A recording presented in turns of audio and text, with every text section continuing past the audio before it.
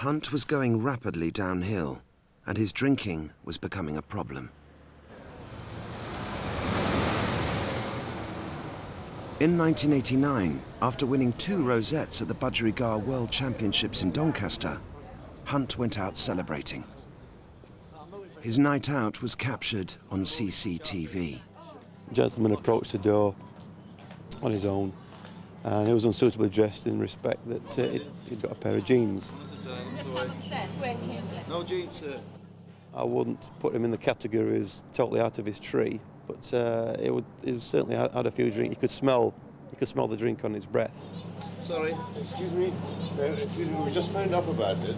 The lady from the Swallow Hotel said I had to speak to the receptionist upstairs. About She what? just- About the fact she just phoned to say, could I come in?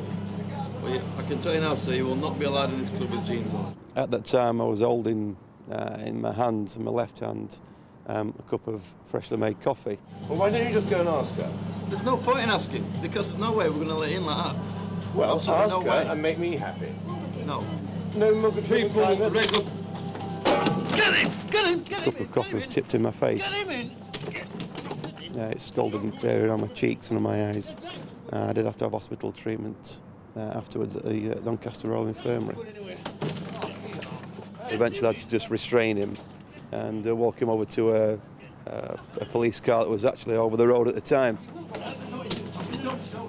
Two police officers came to see me, the arresting officers, and asked me who it was who had assaulted me, and I said I didn't know. I'd not seen him before.